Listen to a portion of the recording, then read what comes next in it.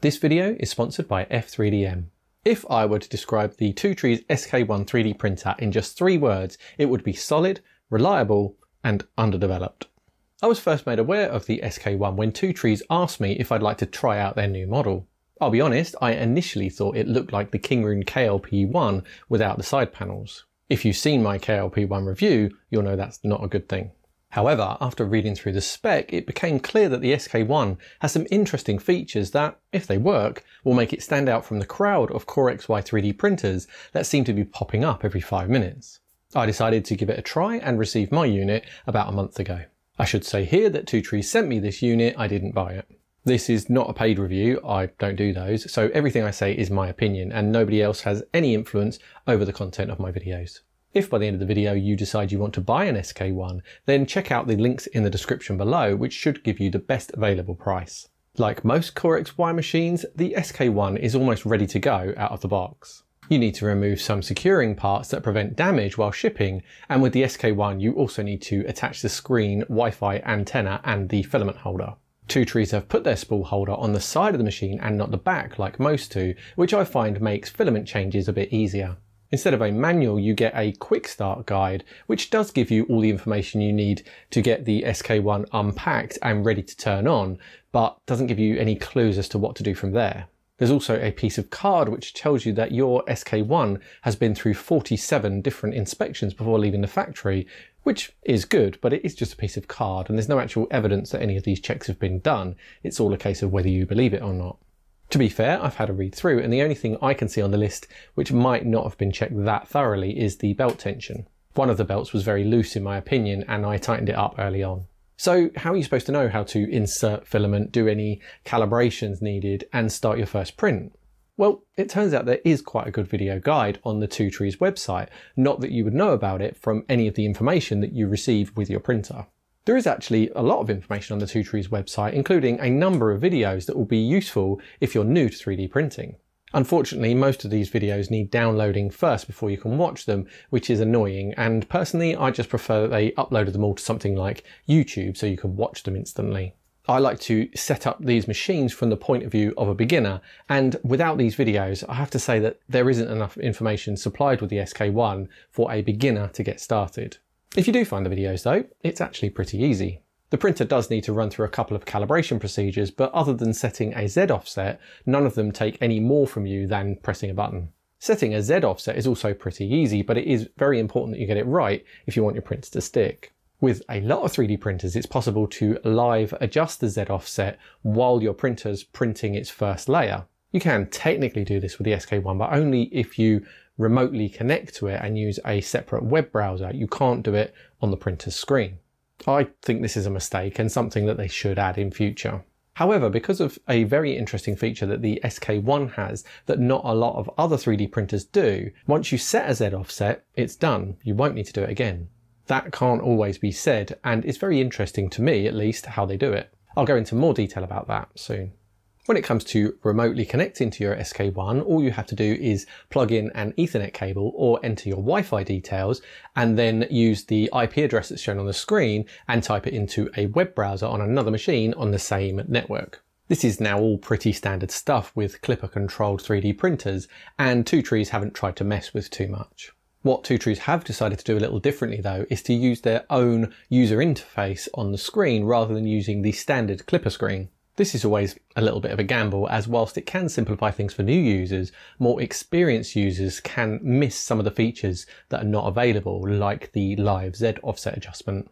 Other than this one omission, I actually quite like the user interface. It's simple and what you need is readily available. There's none of the nice features like print image previews though, which some people will miss. When you start running through the initial setup processes, you'll probably notice that Two Trees have done something a little bit different with their bed leveling. It's important that a 3D printer's bed sits completely parallel to the plane that the nozzle runs through, and there are a couple of different ways of getting there. One of the most frustrating things when you get a new 3D printer is if you have to manually level your bed. Beds that need to be manually trammed to give it its correct name usually have four adjusters, one on each corner of a square bed. If you've ever sat at a four-legged wobbly table while sitting on a three-legged stool, you'll understand why three adjustment points are better than four. With three adjustment points, it's impossible to induce any kind of warp into the bed surface, which is definitely possible with four. Two Trees obviously know this and have not only used three points of adjustment, but have also put a stepper motor on each one of these three points to automate the whole process. This is not a new feature and people have been building this system into homemade machines for quite a while now, but up until now very few manufacturers have used it in production machines. The main reason is the added cost of the extra stepper motors, linear rails and lead screws. Two Trees obviously felt that it was worth the investment though, and I have to say I love this setup. I was initially a little skeptical as to whether it was necessary as by using a bed mesh most 3D printers can compensate for a less than perfectly trammed bed. However, with a large number of prints now completed on the SK1, I can confidently say that alongside the Bambu Lab A1, I've never used a 3D printer that has produced such a consistent first layer time after time with no interference or adjustments. Running through the tramming and bed mesh process before every print does take a minute or so, but for a 100% reliable first layer, I'm happy to have a slight delay. The actual bed surface is a magnetic removable PEI sheet that has a rough and a smooth side, so you get the best of both worlds. What I also really like is the locating lugs on the back of the bed, which allow you to slide the print surface back into the correct place every time without fail. The heated bed temperature can only go up to 100 degrees C though, which I think could limit its potential in the long run. The SK1 comprises of many machined aluminium components, which ensures that the Two Trees Core XY machine has a very solid frame. Along with some other great hardware choices, the solid frame means that some very high print speeds are possible. The SK1 boasts printing speeds of up to 700 millimeters per second, which is ridiculous when you consider a couple of years ago 100 millimeters per second was considered fast. Top speed is no good without acceleration though, and the SK1 matches the best in this regard with a possible 20,000 millimeters per second squared. High speed also needs fast filament heating though, and the SK1 can pump through 32 millimeters cubed per second, which again matches some of the front running machines like those from Bambu Lab. The hot end tops out at 300 degrees though, so not every filament will be printable. Linear rails are also used for all printer movements, and if looked after, these will last the lifetime of the machine, unlike some of the carbon fibre counterparts on some other machines. Two Trees have also decided not to enclose the SK1 model, although they have clearly planned to do it at some point, as all of the fixing points are there on the frame. It would be pretty easy to add your own side panels and a door if you wished, but I'm not quite sure how you would add a top cover with the way everything is positioned. The lack of side panels does make it very easy to see what's going on though, and the included internal light is also pretty good. Ordinarily with these Klipper machines it's very easy to add a camera and I usually opt for the pretty universally accepted Logitech C270. However, I couldn't get this camera to work with the SK1.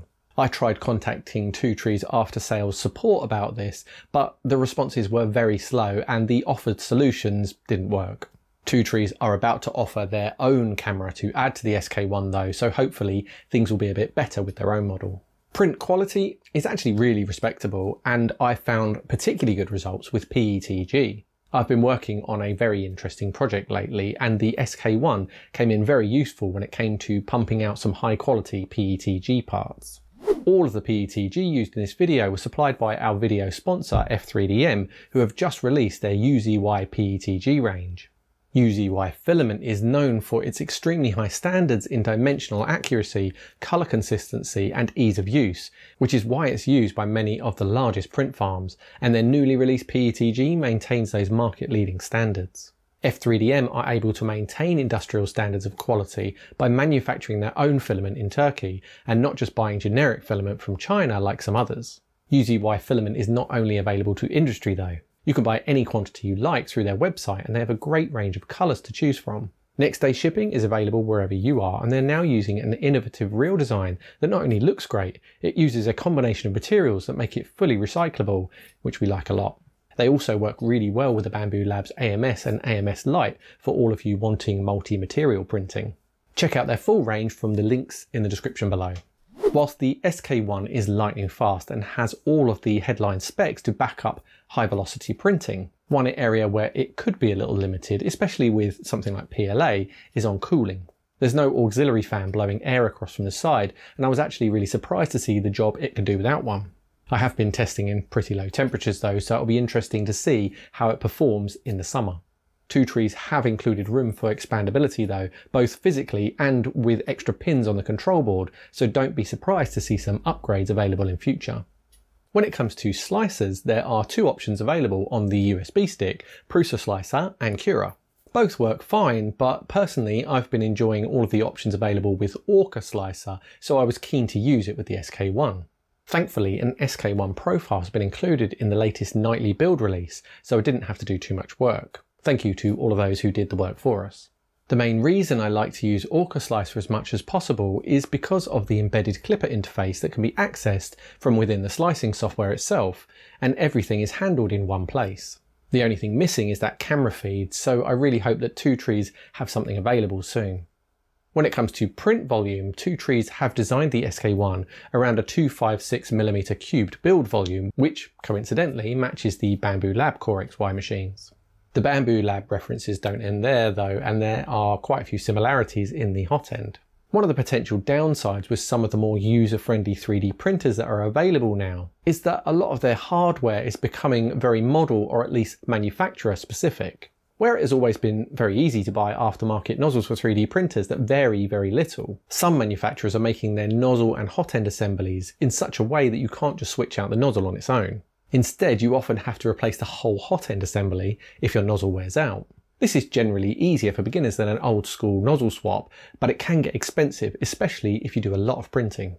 With the SK1, Two Trees have kept some of that traditional thinking, but with a more modern twist. The hot end is very similar to that used on the Bambu Lab machines, but they've designed it in a way which enables you to simply unscrew the nozzle and change it when it wears out, or even to replace it with something that offers different characteristics if you want. And that kind of design thinking is what you find throughout on the SK1. This is not a finished product that can't be changed. It works fine as it is, don't get me wrong, but there's also a lot of potential to improve things down the line. The firmware is fully open source and you can play with it as much as you like. As I said, there are also some spare pins on the motherboard which you can use for things like additional fans. However, the core hardware is very solid and I can't really fault the way they've done things with the mechanical setup. There are some very powerful stepper motors controlling all of the movements and the frame is solid, which probably explains why the out-of-the-box print quality is so good. At no point did I feel the need to mess with pressure advance or a PID tune, but they're there if you want to refine things further. So, who is the SK1 for and should you buy it? I can see the SK1 being a great option for anybody with a little bit of experience who wants to take full advantage of the high-speed benefits of Klipper without being locked into a Bambu Lab Creality or FlashForge environment and proprietary parts. The SK1 is a solid workhorse that just works reliably at lightning speeds. If you're looking for a candidate for a print farm or just a super fast printer for PLA and PETG, the SK1 could be perfect. If you're a complete beginner, then there's no need to think that the SK1 will be too advanced for you either. It works well out of the box and it has the potential to grow with you as your knowledge increases. Is it perfect? No, definitely not, but all of its rough edges are relatively minor things that could be ironed out with new firmware or a minor parts upgrade at some point in the future. One issue I had that I didn't go into earlier was that the SK1 initially struggled to meet its own very tight tolerances when trying to level its bed. Luckily, I have quite a lot of experience with Klipper now and I was able to find the setting for this tolerance and relax it a little bit to get everything working, but a complete beginner wouldn't know how to do that. After a few days, I reset this tolerance and everything has been fine since, but to this day, Two Trees still haven't offered me any kind of solution as to what I should have done, and I have asked. If you want to print with ASA, nylon, or any other materials that require higher temperatures, or if you just want to print pretty things with multiple colours, then there are probably better options out there. What the SK1 is though, is a great 3D printer with a solid base and a lot of potential for the future even if its after sale support is a little lacking at the moment.